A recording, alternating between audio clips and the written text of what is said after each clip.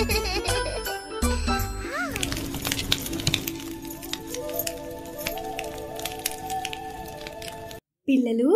ఈరోజు నేను కొన్ని పొడుపు కథలు అడుగుతాను.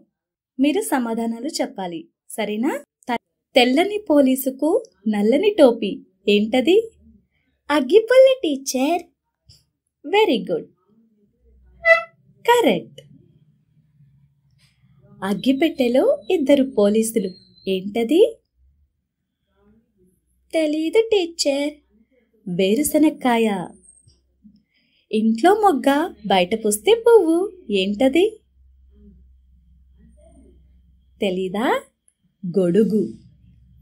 కాళ్ళున్న పాదాలు లేనిదేంటది? కుర్చీ టీచర్. సరిగ్గా చెప్పావు. చక్కనమ్మ చిక్కిన అందంగా ఉంటుంది. ఏంటది? తెలీదు టీ. సబ్బు. పచ్చని పాముకు తెల్లని చారలు. ఏంటది?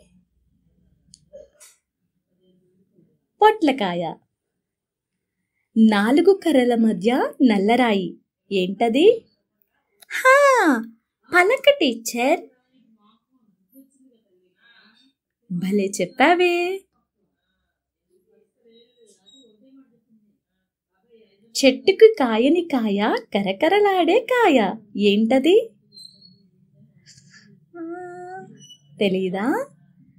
కజ్జికాయ.